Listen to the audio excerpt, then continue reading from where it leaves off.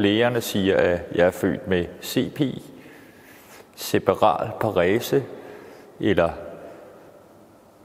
spastisk lammelse. Vi undersøger spasticitet. I starten, da man begyndte at, at øhm, undersøge spasticitet, så var man ude i nogle katteforsøg og nogle rotteforsøg osv. Og, og jo mere moderne man er blevet, øhm, så, så nu har, har vi mulighed for at altså, kunne undersøge rigtig mange ting i mennesker.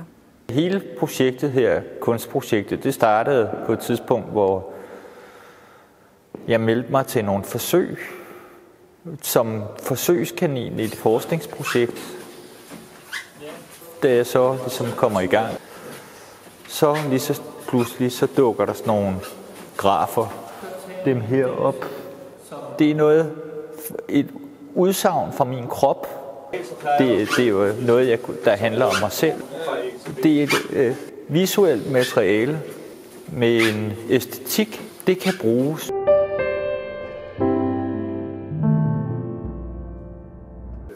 De der grønne målinger, der er herover, det er nogen, der er lavet inde på, i, på Panum Instituttet, i Panum Instituttets øh, gangrobot, hvor ligesom jeg fik spændt, blev spændt ind i sådan en robot, og så skulle jeg så tage et skridt, og så kunne øh, robotten der ligesom måle skridtet. Strækreflekser, de, de bliver målt i mange forskellige sammenhænge. For eksempel, øh, når vi laver en intervention, øh, og så ser vi på, hvordan øh, nervesystemet det tilpasser sig.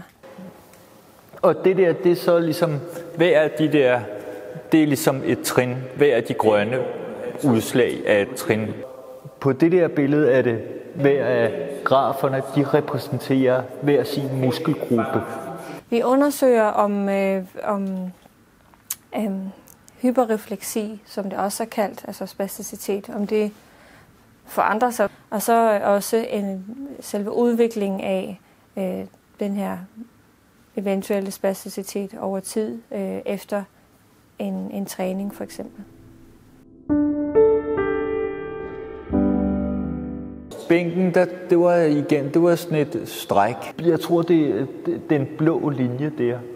Man sidder ligesom i, i, i en bevægelse. Så man sidder i kroppens eget udsagn, ikke? Den her elektromysiologiske måling, som er ligesom den energi, som kroppen har brugt på at lave den her bevægelse, det er det, man sidder i. Og jeg synes, det kunne ligesom være sjovt at prøve at sidde ligesom i noget, som kroppen selv havde, ja, selv havde lavet. Ja, mine værker de tager altid udgangspunkt i, ja, i virkeligheden. Altså for mig der er det at prøve at afspejle min samtid på en eller anden måde.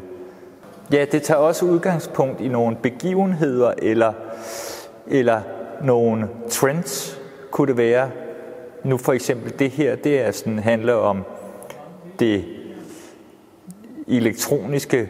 De fleste har en eller anden app, hvor de kan måle enten skridt, eller når de er ude at jogge, eller de har sådan en, hvor de kan blæse i, og så kan de måle, om de er syge, om de fejler et eller andet.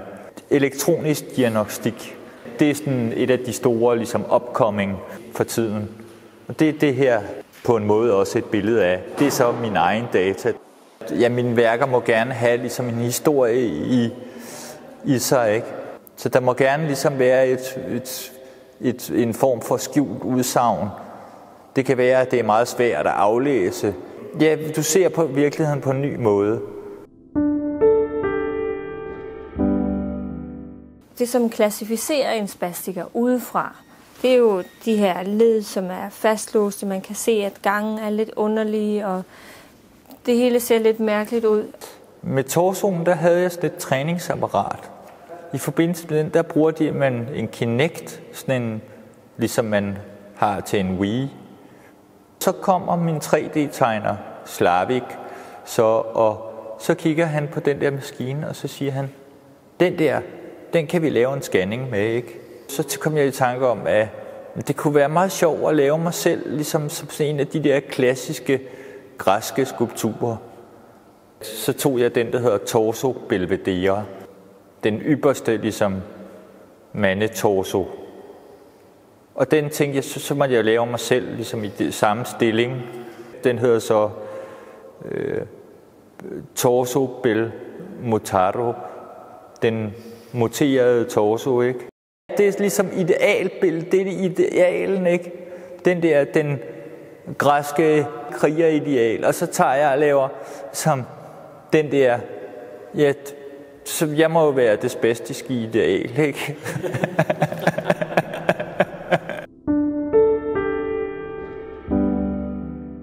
Ved det projekt, det har vi øh, igen taget biopsier, øhm, og dem har vi taget med til Schweiz, til en partikelaccelerator, øh, hvor vi har øh, kreeret noget meget høj røntgenstråling øh, ved at accelerere nogle partikler til lyshastighed, som så bliver afledt og rammer den her biopsi, hvor man kan se meget, meget små detaljer, hvordan er den forandret morfologisk, og hvordan ser mikrostrukturen ud. Det kan jeg ikke undlade. Det bliver jeg simpelthen nødt til at have med. Jamen det er fordi, at når du tager noget, der er så småt, og forstørrer det op, så opnår man noget, sådan en effekt, vil jeg kalde det, som er, som du får ligesom noget op, der bliver overmenneskeligt og øh, universelt. Så får du et universelt udtryk, specielt ligesom det her tapetet, ikke? Øh, det vi kigger mønstret der, og det bliver blæst op til noget, som er ligesom, så bliver det til nærmest noget universelt. Hvis, det, hvis vi forestiller os, at det havde været på gulvet også, eller på alle væggene omkring dig, så du simpelthen stod inde i et rum, der var dækket fra gulv til loft ja, med biopsi, så havde det været ligesom at træde ind i et kirkerum. Der føler man sig lille.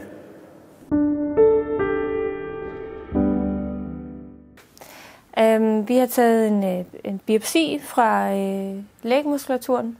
Uh, øh, vi undersøger generelle forandringer i strukturen. Uh, vi kigger på uh, mitokondrier, uh, cellekerner og altså morfologiske forandringer i, øh, i muskelvævet.